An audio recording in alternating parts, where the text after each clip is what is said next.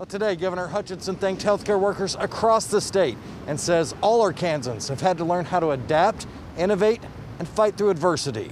Uh, we went to work and we've been at work for the last year. We've seen the resilience of Arkansans. Governor Hutchinson says the coronavirus claimed the lives of more than 5,000 Arkansans the past year.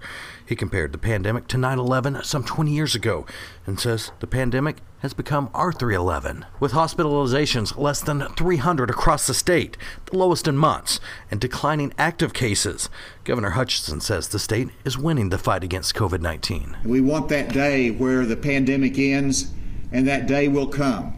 And that day will come when we set the example for everyone to get the vaccine, for everyone to have that life saving uh, capability and protection that uh, will save save lives, and that is our goal. The governor says nearly 17% of Arkansans have received at least one dose of the vaccine. Tonight at 6, hear from a husband and wife who were the very first confirmed COVID cases here in Fort Smith and Sebastian County and how the virus is still affecting them one year later. In Fort Smith, Brett Rains, 4029 News.